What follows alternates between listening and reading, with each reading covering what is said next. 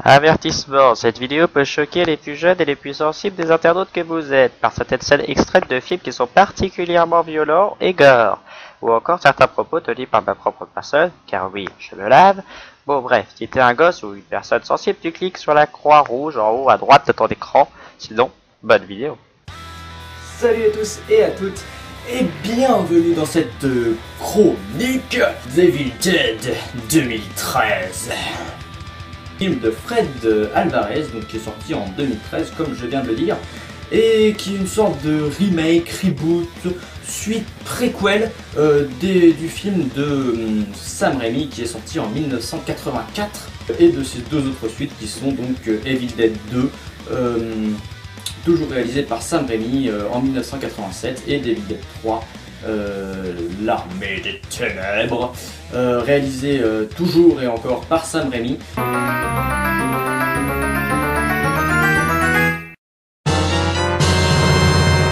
si vous me le permettez, je vais un petit peu m'étendre sur mon avis par rapport à ces trois films. Même si tu me le permets pas, je vais quand même le faire, espèce d'enculé. Tout d'abord, le premier film, hein, réalisé par Sam Raimi, euh, qui a raconté l'histoire de cinq personnages qui euh, arrivaient donc dans une cabane complètement paumée euh, pour tout simplement s'éclater le temps d'un week-end et être complètement déconnecté de la civilisation. Ça veut dire qu'ils n'avaient pas internet. Ils sont complètement fous. Ça, c'est sûr. Finissaient pratiquement tous euh, bouffés par euh, des morts vivants, alors possédés. Enfin voilà, c'était vraiment très très fun quoi. Ouais. Sans parler de, l'ambiance, c'était juste super dans ce film, voilà, qui mélangeait bien l'humour avec le gore et qui se mêlait vraiment bien. Et aussi le fait que le film en fait il faut savoir, était complètement fauché à l'époque. Hein. C'était un film qui n'avait peut-être un film d'horreur qui avait le moins de budget à l'époque. Hein, et qui a quand même réussi à faire un succès international et à énormément se rentabiliser du coup. Mais c'était presque dangereux pour les acteurs et c'est peut-être ce qu'on ressent à l'écran quand on regarde cet Evil numéro 1. C'est le côté un peu fauché qui donne un côté un peu poisseux, euh, un petit peu plus vrai entre guillemets. Même si ça m'étonnerait que ce soit véritablement un documentaire sur des personnes qui étaient possédées, qui mangeaient d'autres personnes. Parce que ça, euh, je sais pas si ça existe vraiment. Mais je pense pas. Ils étaient vraiment fauchés et c'est ce qu'on ressent un petit peu dans ce film, contrairement euh, au film, au remake, reboot, suite, préquel dont je vais vous parler aujourd'hui, qui avait lui un plus gros budget. Euh, en termes d'effets spéciaux, euh, de décors, etc.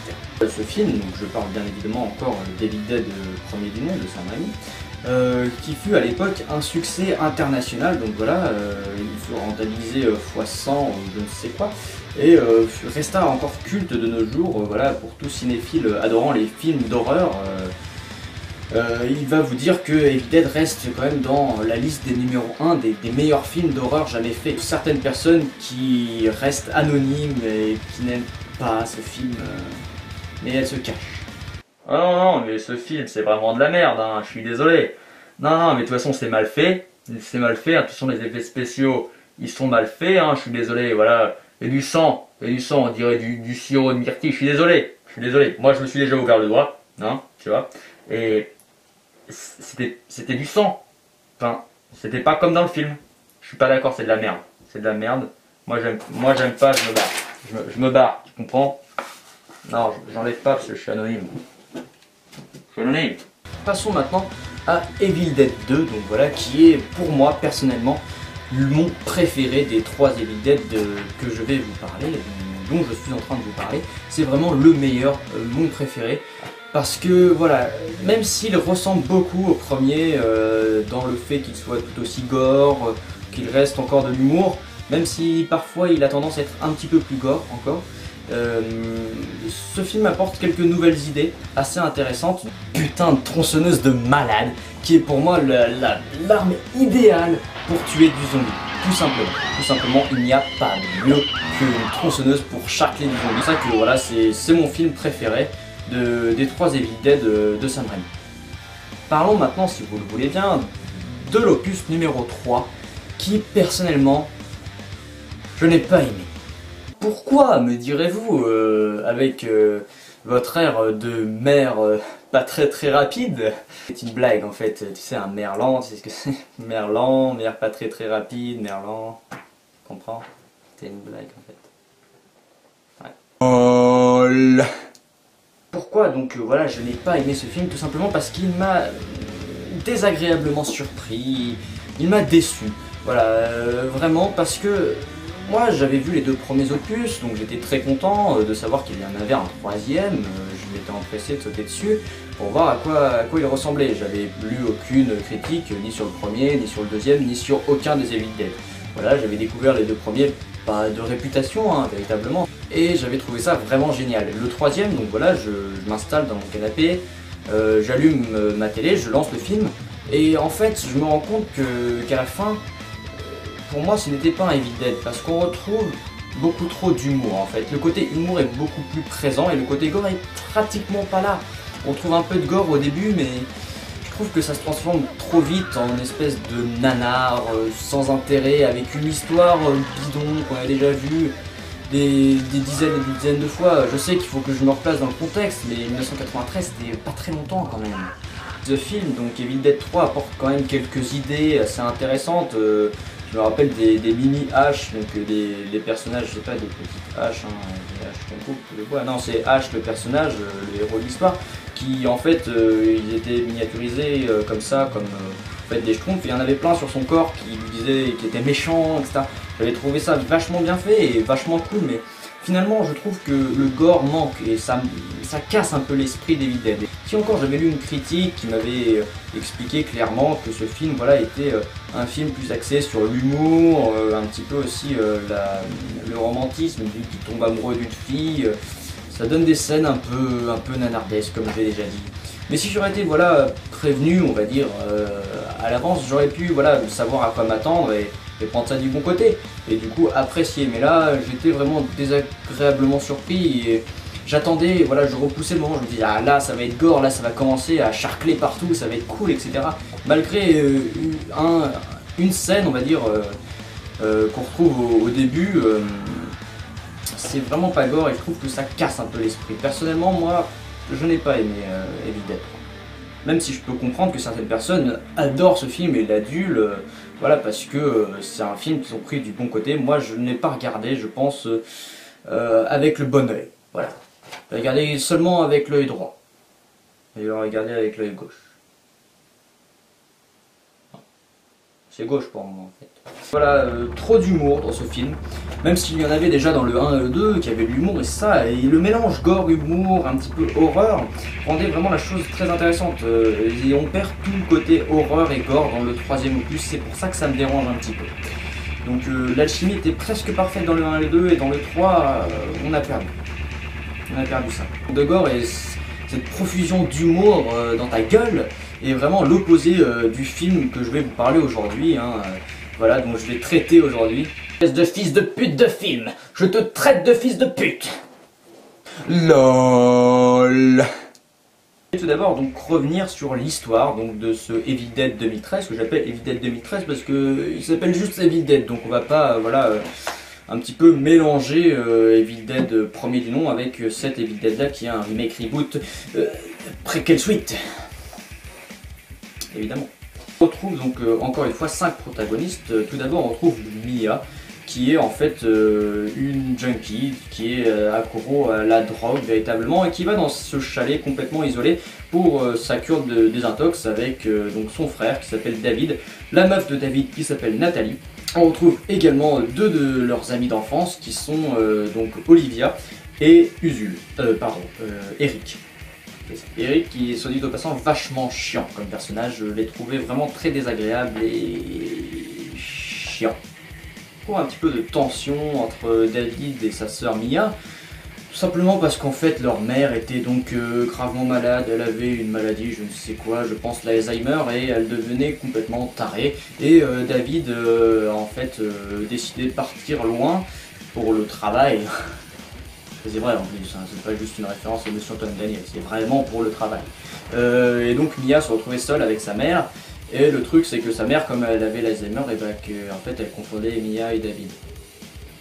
Enfin, regardez ces deux images. Franchement, faut le faire. Attends, plissez les yeux beaucoup. Vous voyez encore la différence, non? Je vraiment être très gravement malade. Voilà, c'est pour ça que Mia a un petit peu de rancœur envers son frère. Mais là, son frère lui promet des promesses très américaines, très gentilles, qu'on a déjà vues des dizaines et des dizaines de fois, du genre « Oui, mais là, je resterai avec toi jusqu'au bout et tout, je serai gentil, etc., je te lâcherai pas, etc., etc. » Parce que c'est ça qui rend sa sœur anxieuse. Sur le moment émotion et continuons un petit peu dans l'histoire. Mia commence à devenir un peu bizarre, elle commence à crier et notamment elle dit que ça pue dans la cabane, que ça sent la mort. Euh, donc les autres personnages euh, ne sentent apparemment pas cette odeur-là. Euh, ils restent tranquilles, ils, ils, croient juste que Mia débloque complètement parce que ça fait un petit moment qu'elle n'a pas pris sa dose. Et du coup, l'ignore complètement. C'est insupportable. Mais non, il n'y a rien qui empeste. C'est juste toi qui es très sensible en ce moment. Au moment où le chien commence à renifler un petit peu euh, donc, euh, le, tapis, et donc là ils enlèvent ce tapis euh, et trouvent une trappe. Une trappe qui les mène en fait vers la cave de cette fameuse cabane trop glauque of Doom. Et là ils trouvent des dizaines et des dizaines de chats morts. Une ambiance assurée. Vous voulez faire une soirée trop cool avec vos potes, vous pouvez accrocher des chats morts partout dans votre pièce. C'est vraiment cool. Ouais, ça redécore vraiment bien. Donc là, il change un peu d'avis par rapport à Mia, euh, forcément.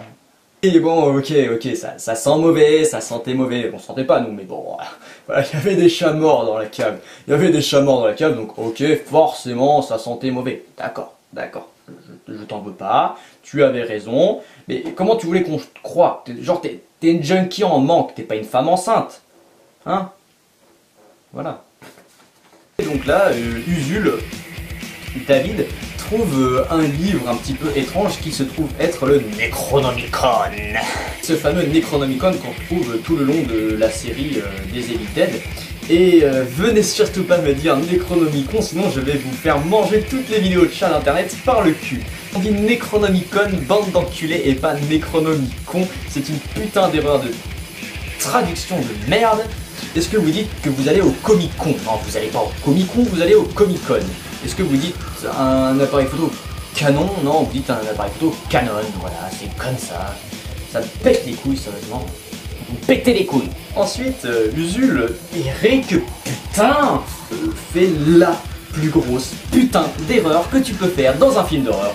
C'est-à-dire quand tu trouves un bouquin qui en fait fait avec de la peau humaine et écrit avec du sang, c'est lire le truc en latin qu'il y a dedans.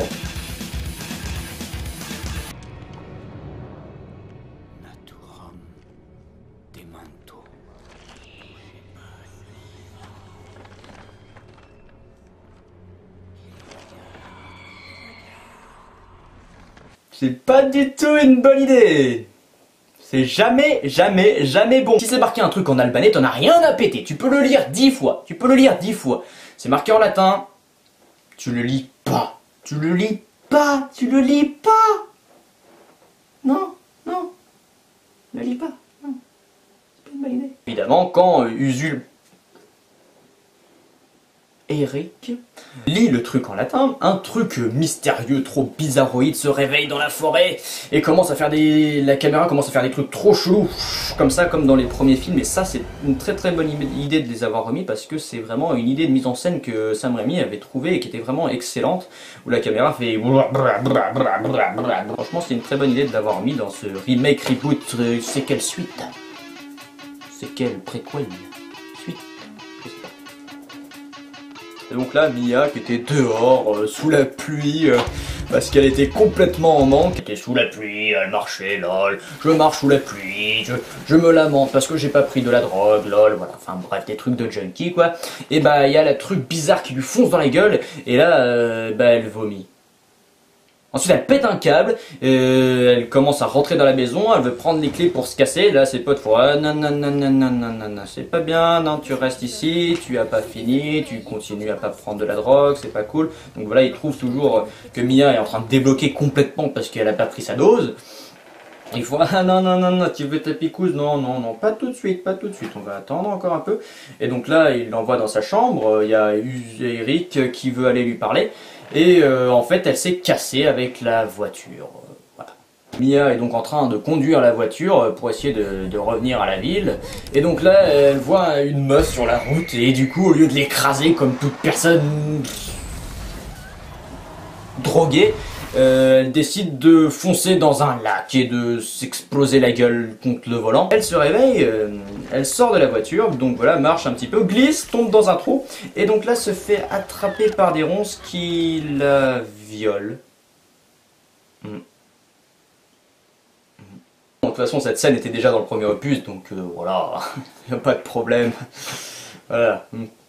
Se faire violer par des ronces, c'est typique dans Evil Dead. Rien à dire sur ça.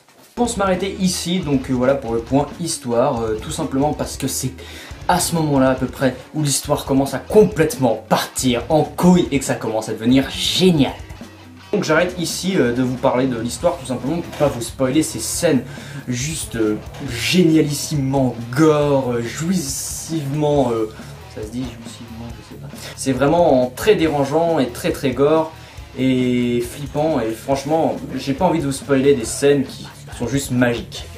Même si selon moi, euh, le film abuse un tout petit peu des jumpscares. Donc les jumpscares, euh, vous pouvez vous demander ce que c'est, hein, c'est tout à fait normal. Euh, tout le monde ne peut pas savoir. Les jumpscares, c'est tout simplement tout con en fait.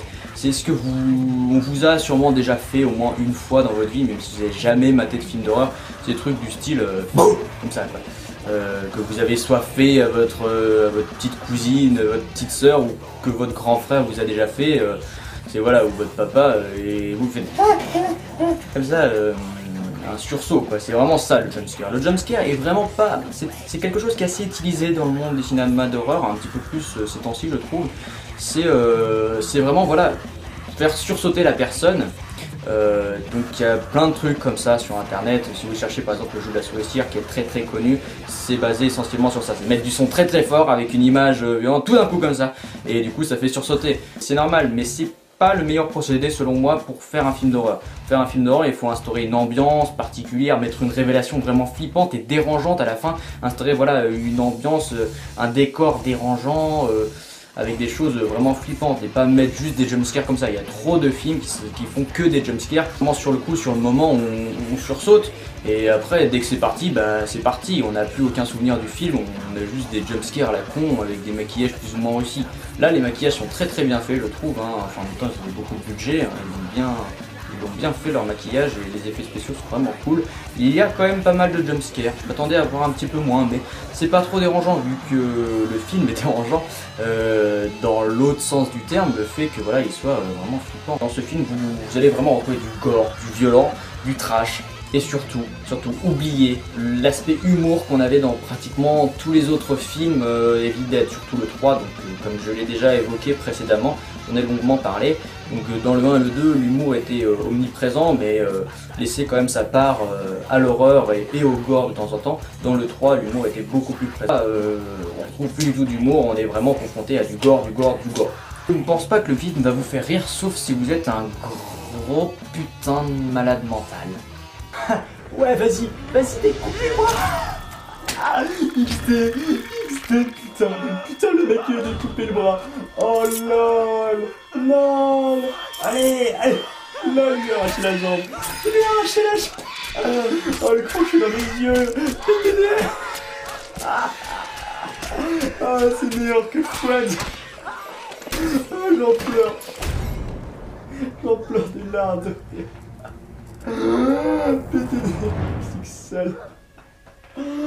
Ah, c'est génial. Le fait que ce film ne soit pas du tout drôle hein, d'un côté est en fait un défaut de ce film euh, en tant qu'Evil Dead. Pas en tant que film d'horreur, mais en tant qu'Evil Dead, euh, voilà, donc dans tous les Evil Dead qu'il y avait eu précédemment, il y avait toujours cet aspect euh, d'humour, je l'ai suffisamment dit. Là, il n'y est pas du tout, ce qui est un petit un reproche qu'on peut faire au film. personnellement, ça ne m'a pas énormément gêné après avoir vu Evil Dead 3. Je trouvais ça plutôt bon. C'est vraiment deux films qui sont très contrastés malgré le fait qu'ils aient le même. Les deux premiers films surtout où il y avait cet aspect humour, gore, euh, horreur qui se mélangeait très très bien, qui donnait une ambiance malsaine et marrante à la fois. Et Evil est un des premiers films euh, avec Batast euh, et Branded à avoir instauré un peu ce style de film d'horreur gore, surtout pour Branded qui est très très gore, horreur gore humour Et euh, c'est voilà vraiment véritablement un des premiers films à avoir instauré ça, à avoir imposé ça dans, dans le genre des films d'horreur. C'était pas du tout le cas auparavant. Conclure cette chronique number one, euh, je dirais qu'Evil Dead 2013 est un très très bon film d'horreur. Donc voilà, mais au niveau, si on le prend voilà, vraiment comme un Evil Dead, véritablement, il lui manque voilà, cette petite chose, euh, ce petit côté humour qu'avaient les précédents épisodes. Euh, notamment le 1 et le 2. Euh, mais il, est quand même, il a quand même une ambiance très très dérangeante et assez flippante quand même à certains moments, avec des scènes qui resteront très longtemps gravées dans mon esprit. Je trouve une tronçonneuse donc c'est cool. Et il pleut du sang dans le film. Il y a une scène où il pleut du sang. Ce film est juste un des films les plus gore que j'ai pu voir ces temps-ci. Avec Piranha 3D que je vous conseille aussi fortement. C'est euh, un des films énormément gore et, énormément jouissif si vous aimez ça. Il pleut du sang. Voilà, j'ai vu le film vraiment dans des conditions optimales, on va dire. Hein. Voilà, j'étais tout seul chez moi. Euh, dans ma chambre, euh, les, toute lumière éteinte, juste avec mon casque sur les oreilles, à regarder le film la nuit. Donc euh, franchement, avec une qualité en plus de film qui était du 1080p, euh, le Blu-ray qui est vraiment euh, très très bonne. C'est dans ces conditions-là que je vous conseille de regarder ce film et non pas affaler sur un canapé avec des potes. non, c'est vraiment, vraiment un film à voir dans le noir, seul. donc voilà, et, et dans ce cas-là, ça marche bien, vraiment bien. J'avais même peur de mon ventilateur après avoir vu le film. Il m'a fait flipper. Mon ventilateur m'a fait peur à cause de ce film. Pour finir, le deuxième défaut du film qui va un petit peu avec le, manque d'humour, c'est qu'il manque Bruce Campbell, hein, qui était euh, voilà, dans les précédents opus et qui est vraiment la star des Evil et qui est vraiment génial. Par contre, ce mec tweet énormément. C'est incroyable. Selon moi, la recette pour faire un Evil parfait serait en fait de mixer euh, d'une façon très violente et très gore le film donc euh, Evil Dead 3, l'armée des ténèbres, avec donc cet Evil Dead 2013, et en fait une sorte de mélange, donc garder euh, le Bruce Campbell génialissime, garder l'humour omniprésent du troisième opus, et garder le gore génial avec euh, l'ambiance oppressante de cet opus, et faire une sorte de mélange d'harmonie génialissime entre ces deux génialismes ces deux bons opus, même si j'ai une préférence hein, pour euh, Dead 2013 par rapport à l'armée des morts, hein, comme je l'ai dit suffisamment de fois. Et donc là, je pense que vous aurez l'Evil Dead ultime. Bon après, on n'a pas à s'inquiéter, hein. moi je continue euh, de me tenir au courant euh, à ce niveau-là, parce qu'apparemment Fred Alvarez euh, ne compte pas arrêter ici avec cet Evil Dead, et il y a même Sam Raimi qui apparemment va bientôt faire un Evil, un Dead numéro 4, et peut-être un Armée des Ténèbres numéro 2, il me semble. Donc je reste, je regarde, je reste à l'affût, et, et voilà et je ne perds pas espoir euh, en fait d'avoir l'ultime Dead. Cette chronique est maintenant terminée. Donc euh, maintenant je vais être très très sérieux et euh, je vais en fait vous confier à vous internautes un secret de la plus grande importance. Donc voilà, approche. Est-ce que tu serais ce qui me ferait immensément plaisir à moi? Tu le sais pas? Tu le sais pas? Bah je vais te le dire. Ce qui me ferait immensément plaisir, c'est que tu t'abonnes à ma chaîne et laisses un pouce vert, bâtard